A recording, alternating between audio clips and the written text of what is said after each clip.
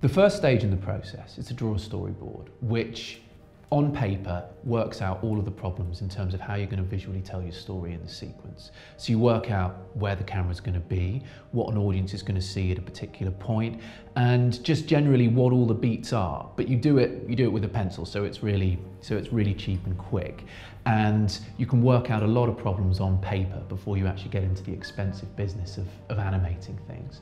The next stage is then to start doing what we call previs. So previs is a really simple, rough version of the animation where we work, it's where all the direction happens, basically. It's where you work out where the camera's gonna be, what speed everything's going to be, and generally that's where the main blocking of the work happens. And I'll just show you that. So this is what we call the previs. So this is the shot. Doesn't look like much at this stage, but what you do is you have simple models, no textures, no lighting, no effects, but this is where you work out how everything's going to move, how the shot's going to feel, how the camera's going to work, and all of those elements are worked out at this stage.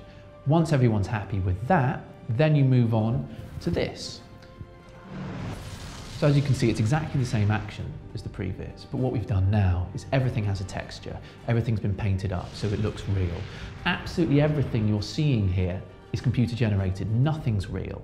So in order to get this to work properly, we had to make sure that our Empire State Building looked just like the real thing, that our Mitchell bomber looked just like the real thing. So we had to do a lot of research to make sure that it was all completely accurate, that the weathering on it was all appropriate. And what we've done is we've matched the lighting so that it works completely seamlessly with the live action footage.